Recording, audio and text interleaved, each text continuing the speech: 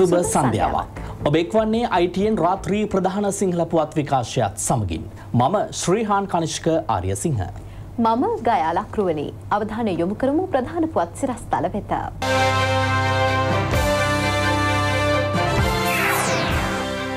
බොරගහකන්ද කළුකඟ ව්‍යාපෘතිය ජාතියට දායාද කිරීමට කැපවූවන් ඇගේ. අබිරහස් යානේ ඇත්ත කතාව. ඉන්දුනීසියාව සිට බුම්මයි දක්වා යන අතරතුර හයවෙනිදා ගුවන් තොටුපළට ගොඩ බැසලා තියෙනවා. මේවා සාමාන්‍ය දෙයක්. හේමසිරිට සහ පූජිතට එරෙහි පෙත්සම විභාගයට සත්පුද්ගල විනිසුරු මඩුල්ලක්. නාවික හමුදාවට එක් වූ නවතම නෞකාව. ඇමරිකාව ඉරානයට අනතුරු අඟවයි. ICC ලෝක කුසලාන ක්‍රිකට් තරඟාවලියේදී පරාජයට පත් වූ ශ්‍රී ලංකා කණ්ඩායම අද දිවයිනට පැමිණියා. මහිතන කුසල් මෙන්ඩිස් ගත්තොත් තාමත්ම හොඳ ටැලන්ටඩ් ප්ලේ හරි එයා එයා හුඟක් වෙලාවට බැලුවොත් අවාසනාවන්ත විදියට අවුට් වුණා මේ පිළිබඳ වැඩිදුර තොරතුරු අපගේ ක්‍රීඩා පුවත් වලින් බලාපොරොත්තු වන්න. රටේ සංවර්ධන ක්‍රියාවලිය උදෙසා අභියෝග මධ්‍යයේ අවංකව කැපවන රාජ්‍ය නිලධාරීන් සහ වෘත්තිකයන් ජාතියේ ගෞරවයට ලක් වී යුතු බව ජනාධිපති මෛත්‍රීපාල සිරිසේන මහතා පවසනවා. මොරගහකන්ද කළුගඟ සංවර්ධන ව්‍යාපෘතිය ජාතියට දායද කිරීමට කැපවුවන් අගේමින් පැවති උත්සවය අමතමින් ජනාධීපතිතුමා මෙම අදහස් පළ කළා.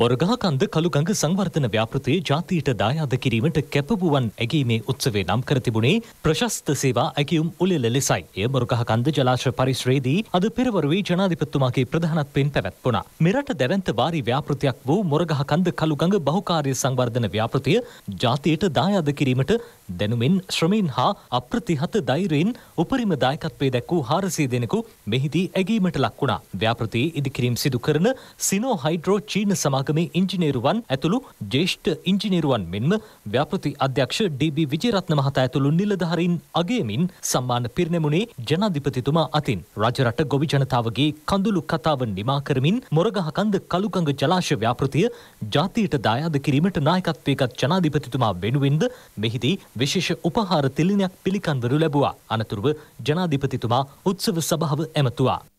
ජාතියක් වෙනුවෙන් රටක් වෙනුවෙන් සිය වගකීම් අවංකව ඉෂ්ට කරන ඉතා සුළු පිරිසක් දේශපාලන. ඒ වගේම රටක් සංවර්ධනය කරන්න ඒ රට වෙනුවෙන් කැපවෙන ඉංජිනේරුවරු පරිපාලකයෝ. තමාගේ මනස කොතෙක් ජාතියක අනාගතය වෙනුවෙන් ගොඩනගනවාද. මේ මොරගහකන්ද කළුගගත් එවැනි ව්‍යාපෘතියක් අද මේ සම්මාන දෙනකොට මහිතන්න මුලින්ම සීපත් කළ යුතු ගෙන තමයි පලවෙනි ව්‍යාපෘති අධ්‍යක්ෂකටත් එන්න කෝමහත්. මේ සෑම කෙනෙක්ම මා විශාල කැපවීමක් කලා. අපි සතුටු එන්න ඕන අද මේ රටේ ආර්ථික ජයග්‍රහණ ආර්ථික ඉදිරියට ගෙන යන්න මේ රට නිදහස් රටක් විදියට ස්වාධීනව ඉස්රහට යන්න මහවැලි සංවර්ධන ව්‍යාපාරය තුළින් ගොඩනැගිච්ච ඒ යෝධ ආර්ථික ශක්තිය කාටවත් අමත කරන්න පුළුවන්කමක් නැහැ.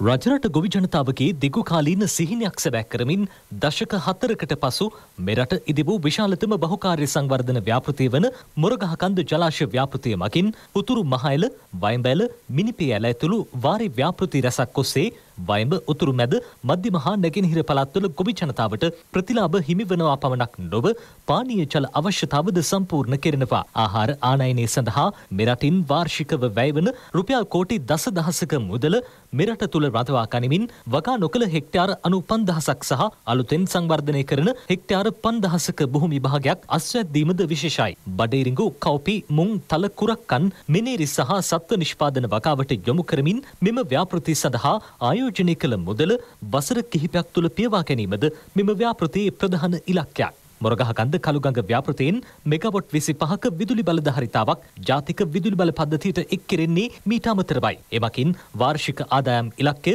රුපියල් මිලියන එක්දහස් පන්සිය හතලිස් පහක්. පසුගේ වසරේ රුපියල් මිලියන එක්දහස් එකසියකට වැඩි ආදායමක් මෙමකින් උත්පාදනය කර තිබෙනවා. බෙරිදිය මත්ස්‍ය නිෂ්පාදනය ඉහළ නැගවීම සංචාරක ව්‍යාපාරයේ ප්‍රවර්ධනය මෙන්ම රජු හා වක්‍ර රැකියා උත්පාදන අවස්ථා ඉහළ නැංවීමද මෙම ව්‍යාපෘතියේ සුවිශේෂ ප්‍රතිලාබයි.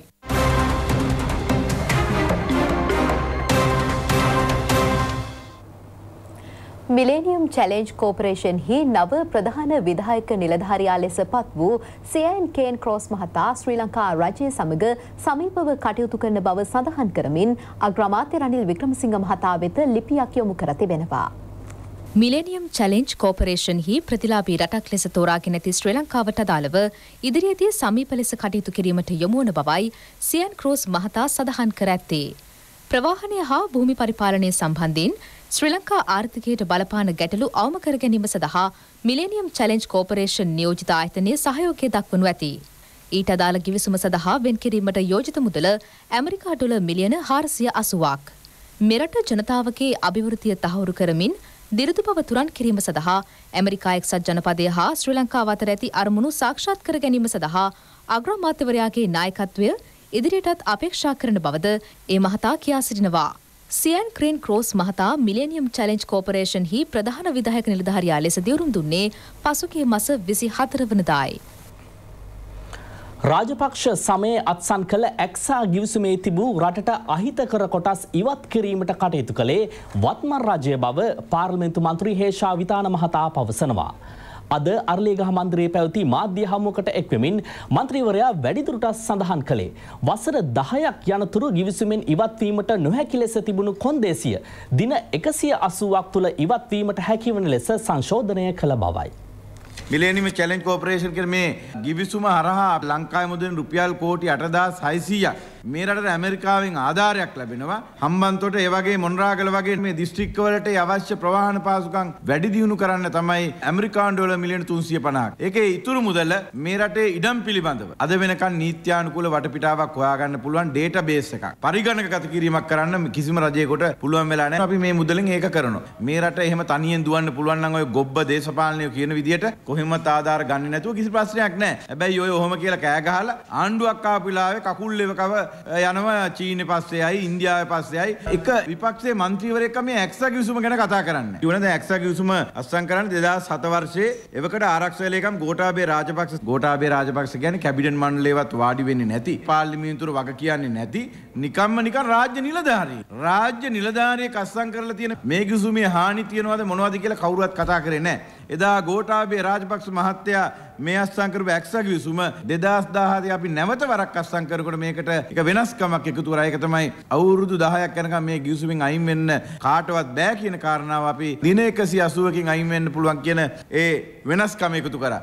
සෝෆා ගිවිසුම් හා මිලේනියම් චැලෙන්ජ් ගිවිසුම සම්බන්ධයෙන් ලංකා වාණිජ මණ්ඩලය කර තිබූ ප්‍රකාශය සම්බන්ධයෙන්ද මන්ත්‍රීවරයා මෙහිදී අදහස් පළ කර සිටියා. අපි හිතනවා මේ වාණිජ මණ්ඩලය කියන්නේ ස්වාධීන ආයතනය. මේ ස්වාධීන ආයතනය කාගේ හරි දේශපාලන උමනාවක් වෙනුවෙන් පරිවර්තනය වෙන්න උත්සාහ කරනවා නම් ඒක එලිපිට කරන්න. බොරුවට යටින් ගේම් ගහන්න එපා. එලින්ම කියන්න අපි මෙතන ඉන්නේ කියලා. එහෙම නැතුව මේ ඇත්ත දැනගෙන බොරුවට මාධ්‍ය ප්‍රකාශ කල්ලි වෙලා දේශපාලනික වාසි කාට හරි අරන් දෙන්න උත්සාහ කරන්න එපා කියලා කියනවා. පාස්කු ඉරිදා සිදු වූ මරාගෙන මැරෙන බෝම්බ ප්‍රහාර වැළැක්වීමට කටයුතු නොකිරීම සම්බන්ධයෙන් පොලිස්පතිවරයාට සහ හිටපු ආරක්ෂක ලේකම්වරයාට එරෙහිව දණ්ඩ නීති සංග්‍රහය යටතේ නියෝගයක් නිකුත් කරන ලෙසට ගොනු කළ මූලික අයිතිවාසිකම් පෙත්සම් විභාග කිරීමට ශ්‍රේෂ්ඨ අධිකරණ විනිසුරුවරුන් හත් දෙනෙකුගෙන් යුත් පූර්ණ විනිසුරු මඩුල්ලක් නම් කර තිබෙනවා. අගවිනිසුරු ජයන්ත ජයසූරිය විනිසුරුවරුන් වන බුවනික අලුවිහාරේ සිසිරිද ආප්‍රූ ප්‍රියන්ත ජයවර්ධන ප්‍රසන්න ජයවර්ධන LTB දෙහිදෙනිය සහ මූර්තු ප්‍රනාත්තු යන සත්පුද්ගල විනිසුරු මඩුල්ල ඉදිරියේ මෙම පෙත්සම් ලබන දොළොස්වනදා සලකා බැලීමට නියමිතයි. ජාතික වැදගත්කමකින් යුතු නඩු කටයුත්තක් බැවින් අදාළ පෙත්සම් විභාග කිරීමට පූර්ණ විනිසුරු මඩුල්ලක් පත් කිරීමට අගවිනිසුරුවරයා තීරණය කර තිබෙනවා. වග උත්තරකරුවන් වෙනුවෙන් නීතිපතිවරයා පෙනී නොසිටින බව මීට පෙර අධිකරණයට දැන්වුවා. අදාළ මූලික අයිතිවාසිකම් පෙත්සම් අට අතුරින් එක් පෙත්සමක් ගොනු කර ඇත්තේ කොළඹ කොච්චිකඩේ ශාන්තන්තෝනි දේවස්ථානයේ බෝම්බ ප්‍රහාරයෙන් මියගිය දරුවන් දෙදෙනෙකුගේ පියෙකුයි. බුද්ධ්‍යංශ තොරතුරු මගින් දැනුවත් කර තිබියදී බෝම්බ පිපිරීම වැළැක්වීමට වග උත්තරකරුවන් අපොහසත් වී ඇති බව එම පෙත්සම්කරු පෙන්වා දෙනවා. දේශපාලන භේදයකින් තොරව පරිසරය රැකගැනීමේ ප්‍රමුඛ යුතුකම ඉටු කිරීමට හරිත සමාජ පනත පාර්ලිමේන්තුවට ඉදිරිපත් කරන බව අමාත්‍ය මංගල සමරවීර මහතා පවසනවා. හරිත සමාජ සංකල්පය ආරම්භ කිරීමේ අවස්ථාවට එක්වෙමින් අමාත්‍යවරයා එම අදහස් පළ කළා. දෙදහස් දහනවය අයවැයේ තවත් යෝජනාවක් මල්පල ගන්වමින් ප්‍රජා මූලික පරිසර සංරක්ෂණ වැඩසටහනක් වන හරිත සමාජ ආරම්භ කිරීම අමාත්‍ය මංගල සමරවීර මහතාගේ ප්‍රධානත්වයෙන් කොළපදී සිදු කෙරුණා. පරිසරය ආරක්ෂා කිරීම සඳහා ප්‍රජාව බලගැන්වීම මෙම වැඩසටහනේ අරමුණයි. මේ සඳහා වෙන්කර ඇති මුදල රුපියල් මිලියන හාරසිය පණහක්. ශ්‍රී ජයවර්ධනපුර විශ්වවිද්‍යාලයේ ජේෂ්ඨ මහාචාර්ය හේමන්ති රණසිංහ මහත්මිය මෙහිදී ප්‍රධාන දේශනය සිදු කළා. මෙහිදී අදහස් දැක්වූ අමාත්‍ය මංගල සමරවීර මහතා. අපේ රටේ අනාගත වෙනුවෙන් වැදගත් යෝජනා වෙනවා වගේම මේ හැම යෝජනාවකට වඩා මේ හරිත සමාජ එහෙම නැත්තං ග්‍රීන් ක්ලබ් යෝජනාව මම වැදගත් කියලා හිතනවා. ගම්මට්ටමේ ප්‍රාදේශය ලේකම් මට්ටමේ ජනතාවත් මේ මුළු පෘතුවියම රැකගන්නා කාර්ය භාරයට එකතු කරනවා. රටේ තියෙන වනවැස්ම තවතවත් වැඩි කර ගැනීම. මුළු පෘතුවයේම අනාගතය තීන්දු කරන තීරණාත්මක සාධකයක් බවට පත්වෙලා තියෙනවා. ඇත්වසෙන්ම මේ රටේ කුඩා දරුවාගේ ඉඳලා පරිස්සරය ආරක්ෂා කිරීමේ වැදගත්කම අපි විදිමත් සැලස්මක් ඇතුව කියලා දෙන්න ඕන.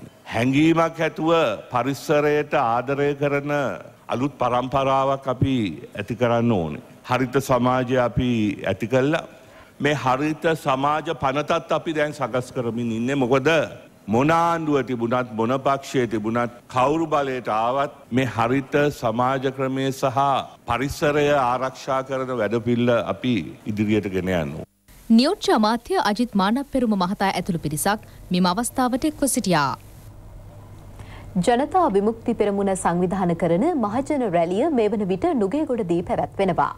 පාද සටන පාගමනින් අනතුරුවයි රැලිය ආරම්භ වනේ. ජනතා විමුක්ති පෙරමුණේ පාද සටහන ඊයේ ආරම්භ වුණේ කළුතර නගර සභා භූමිය අසලින්. එය අද පෙරවරු නවයට මොරටුව දුම්රියපොළ අසලින් ආරම්භ වුණා.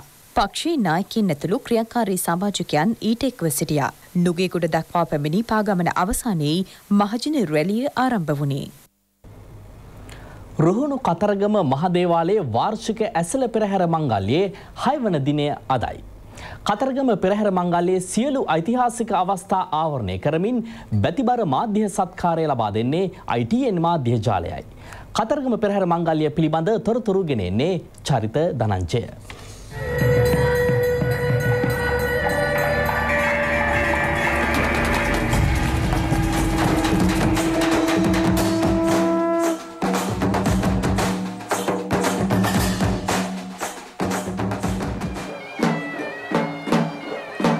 ආයිබෝවන් සුබ සන්ධ්‍යාවක් මේ අපේ සම්බන්ධ වෙන්නේ පුණ්‍යවන්ත භූමියක සිට කතරගම දෙමිදුන් ජීවමානව වැඩ සිටින මේ පුණ්‍ය භූමිය මේ මොහොත වන විට අතිවිශාල පැතිමතුන් පිරිසකගෙන් පිරී ඉදිරි ගොස් තිබෙනවා.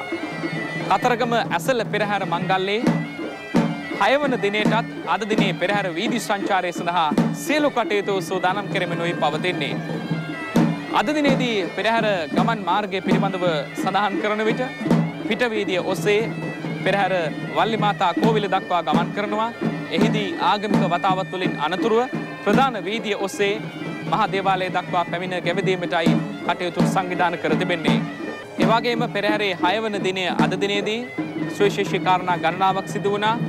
අතුපන්දලම බැඳීම සිදු වුණේ අද දිනේදී එය පෙරහැර පැවැත්වෙන විට සයවන දිනේදී සිදුවන චාරිත්‍රයක් විදිහට අපිට හඳුන්වා දෙන්නට පුළුවන්. ඒ වගේම බස්නායක නිලමේ තුමන්ගේ ඒ වලව්වෙහි පැවැත්වෙන සාංගික දානයද අද පෙරවරුවේ පැවැත්වුණා. ඒ සඳහා මහා සංඝරත්නය ඇතුළු විශාල පිරිසක් පැමිණ සිටියා. මේ සියල්ල ඒ දුටු කැමුණු රජ දවස සිට පැවැතගෙන චාරිත්‍ර වාරිත්‍ර අනුවයි සිදු කෙරුණේ. කතරගම මහා දේවාලයේ පරිවාර කඩවර දේවාල පරිශ්‍රයේදී අතිගරු ජනාධිපති මෛත්‍රීපාල සිරිසේන මැතිතුන්ගේ ප්‍රධානත්වයෙන් කඩවල කංකාරී ශාන්ති කර්මය නැවත ප්‍රතිස්ථාපනය කිරීම සිදු කෙරුණා. මුළු රටටම සෙත්පතා සුබ මුහුර්තීනුයි එම කටයුතු සිදු කෙරුණේ. රුහුණු කතරගම මහා දේවාලයේ ජනාධිපති කාර්යාලය සහ රජයේ ප්‍රවෘත්ති දෙපාර්තමේන්තුවයි ඊට අනුග්‍රහක දායකත්වය ලබා දුන්නේ. මෙම පුණ්‍ය කර්මය සඳහා මහා සංඝරත්නය ඇතුළු විශාල පිරිසක් එක්ව සිටියා. හරෝහරා ITN කඳසුරුදු වන්දනාව ඔස්සේ මේ භූමියේ සිදුවන සියලු තොරතුරු ඔබ වෙත ගෙනෙන්නට අපි සූදානමින් වග බොහොම සතුටින් දැනුම් දෙනවා. ප්‍රවෘත්ති තුලින් තවත් බොහෝ දේවල් අපි සූදානම් ඔබට කියන්නට අපි සමනතාවය ප්‍රවෘත්ති මැදිරියට බාර කරනවා.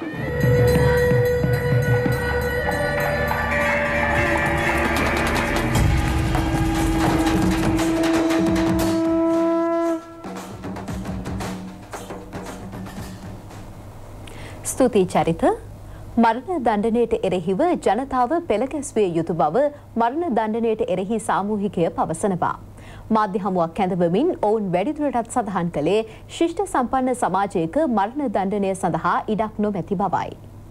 රාජ්‍යයට කිසිම අයිතියක් නැහැ මිනිස්සු මරන්න රාජ්‍යයේ වගකීම මුලින්ම පැහැර හැරලා ජනාධිපතිවරයව අගමැතිවරයව ඔහු ආරක්ෂක ඇමති විදියට නිල බලේ නිවස්ථාවෙන් බලයේ තියෙන පුද්ගලයා ඔහුගේ පළවෙනි වගකීම මගහැරලා ඉවර වෙලා මිනිස්සු එල්ලනවා කියන්නේ කිසිම නිර්ණායකයක් නැතුව රාජ්‍යයේ අනිත් භෞතික සම්පත් හෝ මිනිස්සුන්ගේ අධ්‍යාත්මය හෝ අධ්‍යාපනය ආර්ථික වටපිටාව දියුණු නොකර මේ වල්ගෙට බෙහෙත් කිරීම කිසිම සාධාරණ දෙයක් නෙමෙයි කියන එක තමයි කියන්නේ. දශක හතරකට වැඩි කාලයක් පුරා ක්‍රියාත්මක කර නොතිබුණු අපරාධකරුවන් එල්ලා මරා දැමීම කියන තිරශ්චීන දඬුවම් ක්‍රමය නැවත ක්‍රියාත්මක කරන්න ගන්න තීරණය රටක් විදියට මට හිතෙන්නේ බරපතල තීරණයක්. අපරාධකරුවන් බිහිවෙන සමාජ ආර්ථික පසුබිම කද්ද කියන එක විමසලා බලලා ඒකට පිළියම් යොදනවා මිසක් අපරාධකරුවන්ව එල්ලා මරා දැමීමෙන් සමාජයේ අපරාධ වැළැක්වෙන්නේ නැහැ. ජනතාවට සහන ලබාදීමේ වැඩපිළිවෙල විවේචනය කරන්නේ මහජන මුදල් තම පවුල් පරපුරට බෙදාදුන් පිරිස බව අමාත්‍ය සජිත් ප්‍රේමදාස මහතා පවසනවා. සීතාවක ප්‍රදේශයේ පැවති උත්සවයකදී අමාත්‍යවරයා එම අදහස් පළ කළා. සීතාවක ඉදි කළ සොබාසිරිපුර උදාකම්මානේ ජනතා අයිතියට පත් කිරීම අමාත්‍යවරයාගේ ප්‍රධානත්වයෙන් සිදු කෙරුණා. සැමට සෙවන යළි පිබිදෙන උදාගම්මාන වැඩසටහන යටතේ ජනතා අයිතියට පැවරුණු දෙසිය දාහතරවෙනි ආදර්ශගම්මානය මෙයයි. සොබාසිරිපුර උදාගම්මානය නිවස විසි හතකින් සමන්විතයි. ඒ සඳහා වැය කළ මුදල රුපියල් ලක්ෂ නවසේ හැත්තෑ හතරක්. දැන් සමහරු මාව විවේචනය කරනවා සජිත් ප්‍රේමදාස සහන ලබා දෙනෝ වැඩි. කවුද මේ කියන හාදය? මේ රටේ බිහි වෙලා තිබෙන නොම්බර එකේ කම්බ හොරු ටික. ඒ අය හොඳ සුරසප ජීවිතයක් ගත කරමින් අගනුවර කාර්යාලවල ඉඳගෙන තමන්ගේ බලය තමන්ගේ ශක්තිය උපයෝගී කරගෙන හොඳ එකෙන් තමන්ට බෙදා ගන්න තියෙනවා තමන්ට විතරක් නෙමෙයි පරම්පරා ගණනාවකට බෙදාගෙන දැන් කියනවා සජිත්ගේ තියරිය හරි නැහැ. සජිත්ගේ න්‍යාය රටට ඔබින් නැහැ. මම පෙරලා අහන්න කැමති රටට හරියන්නේ කම්බ හොරකම් කරන්න න්‍යායද? ශ්‍රී ලංකා නාවික හමුදා නෞකා පන්තියට එක් වූ P600 විසිපහ නෞකාව කොළඹ බරායට සේන්දු වුණා. ශ්‍රී ලංකා නාවික හමුදාවේ මෙහෙයුම් පුළුල් කිරීම වෙනුවෙනුයි චීන රජයෙන් මෙම නෞකාව ලබා ගත්තේ. කොළඹ වරායට සේන්දු වූ නෞකාව නාවික සම්ප්‍රදායන්ට අනුව පිළිගනු ලැබුවා. නාවික හමුදාපති වයිස් අද්මිරාල් පියල්ද සිල්වා ශ්‍රී ලංකාවේ චීන තානාපති චෙං සුයුවාන් මහත්වරුන් එම අවස්ථාවට එක්වුණා. නාවික හමුදාපතිතුමා නෞකාවේ නිරීක්ෂණ චාරිකාවක නිරත වූ අතර නෞකාවේ ක්‍රියාකාරීත්වය මෙහෙයුම් සූදානම සහ සැකැස්ම පිළිබඳ එහිදී අවධානය යොමු කෙරුණා. නෞකාව නුදුරේදීම අධිකාරීට පත් කිරීමට නියමිතයි. එක්දහස් නවසය අනු හතර වසරේ නිෂ්පාදිත මෙම නෞකාව දිගින් මීටර එකසිය දොළහක් සහ පළලින් මීටර දොළහයි දශම හතරක් වනවා. එහි ධාරිතාව ටොන් දෙදහස් තුන්සයක්. නිලධහරින් දහට දෙනෙකු ඇතුළු එකසිය දස දෙනෙකුගෙන් යුත් කාර්ය මණ්ඩලයක් නෞකාවේ රාජකාරිවල නිරතව සිටිනවා. ශ්‍රී ලංකාවට අයත් ගැඹුරු මුහුදු කලාපය තුළ සෙවීමේ සහ මුදා කැනීමේ මෙහෙයුම් සාගර සම්පත් ආරක්ෂා කිරීම සහ නාවික කටයුතුවල නිරත යාත්‍රා වෙත සහන සැපීම සඳහා පී හයිසී විසි පහන් නෞකාව යෙදවීමට නියමිතයි. විශේෂම දිවිනායක් වශයෙන් ශක්තිමත් නායක හමුදා පැවතීම ශ්‍රී ලංකාවට අත්‍යවශ්‍ය කාරණාවක්. ජාතික ආරක්ෂාව මෙන්ම ජාතික අවශ්‍යතාවයෙන් ගැන සැලකිලිමත් වීමේදීත් නායක හමුදාවක මෙහෙවර ඉතාමත් වැදගත්. රටක අපි නැශනල පාවක ගැන කතා කරොත් රාජ්‍යතාන්ත්‍රික සම්බන්ධතා ඒ වගේම ආර්ථිකය හමුදාව සහ අනිකුත් තොරතුරු මේ පැති ගත්තහම හමුදාව කියලා කියන්නේ ඉතාමත් වැදගත් කාරණාවක්. මෙම අංග හතරෙන් මෙම එකතු වීම සමගම නායක හමුදාව විසින් මෙතෙක් සිදු කළ මෙහෙයුම් සඳහා අපිට තවත් පිටිවහලක් මෙමගින් යුතු එක අපි බලාපොරොත්තු වෙනවා. මේ සමගින් අයිටන් රාත්‍රයේ ප්‍රධාන සිංහල පුවත් විකාශය නිමාට පත්වනවා. යළිත් හමුවෙමු රාත්‍රී නවයයි තිහට. www.itnnews.lk